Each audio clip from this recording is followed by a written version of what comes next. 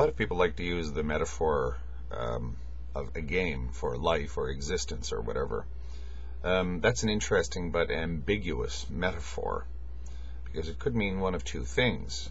Game, you play a game either to win the game or you play a game for the sheer joy of playing it. Um, when um, you know you go out for a game of hockey on the rink here, you generally you want to you want to win, but some people just say, "Oh, I do it for exercise or whatever." Um, but you know, a professional athlete, that person wants to win. They're not just doing it for the heck of it, although they may enjoy it. But ultimately, there is a goal. Um, but there are those who play games just because they're fun. Um, a friend of mine, his daughter loves playing Crazy Eights whenever I go over to visit him. We play Crazy Eights. We never keep score. Nobody's paying attention. There's no lumberman's count of who's winning or who's losing. We can play Crazy Eights for an hour. You know, how many hands would that be? 20, 30 hands of Crazy Eights. Nobody has a clue at the end of the day who won or who outpaced the other person. It's just for the heck of it, just for fun. So, you know, the game, the dynamic of games are, are quite it's not it's not just one thing a game. Um, the Jains seem to think that if life is a game, then it's an onerous game, and the only thing, the only reasonable goal is to win the game of life by getting out of here. There's really, at the end of the day, nothing to be learned from our existence here. We just got to get out. Um, there's another side to that coin, though, in India. There's the phenomenon of, I think it's pronounced lila, although I've heard it pronounced Lila a lot, L-I-L-A, where it, the universe is simply nothing but a big playground created by God and for the beings that He loves, us. Uh, Krishna, uh, Vishnu comes to mind. Um, Vishnu is the main god that's associated with the idea of Lila. It's just, you know, sort of Dante's divine play. Uh, just a bit of fun, really. At the end of the day, what do I take it all seriously? We're all headed for the same destination.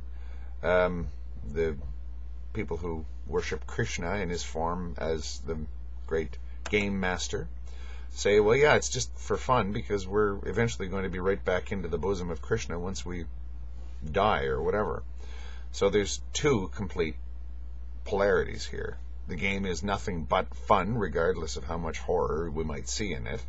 Um, that's just our limited human perception, or it is just a big horror, and the only reasonable thing to do is to get out of here.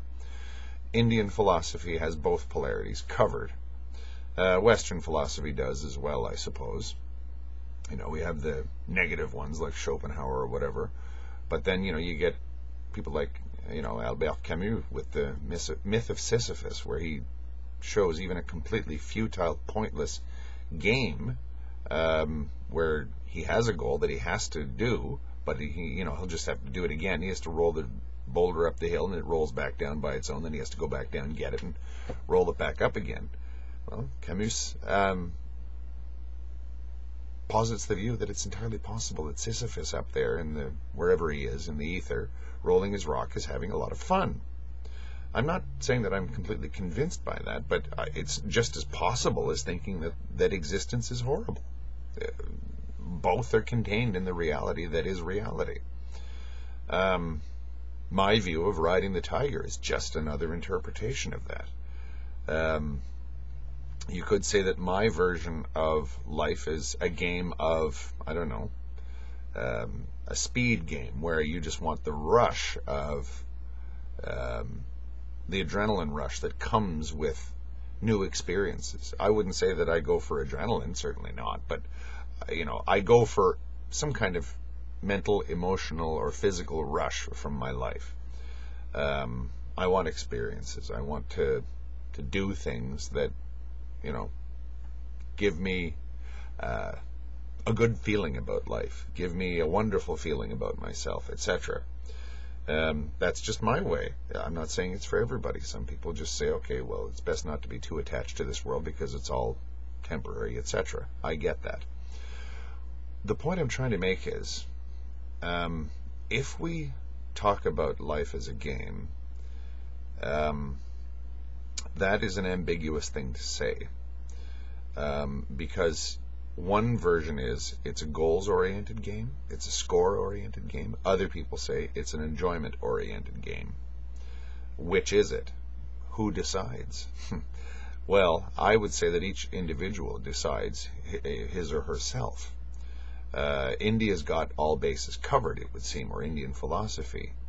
Um, the, um, the, the phenomenon of lila, which is quite popular actually in Hindu thought, essentially says don't worry about it. Um, life is kind of absurd, so um, why get too worked up about the details when it's all going to be over soon enough and we'll be back where we came from, wherever that is, presumably God. Um, my view is I don't know where I came from. I don't know where I'm going, i.e., I don't know where my consciousness bubbled up from. I don't know where my consciousness goes after I die. Um, but in the meantime, there's an awful lot of neat things to do here in life. Um, there's a, a, discipline for that in, in India as well.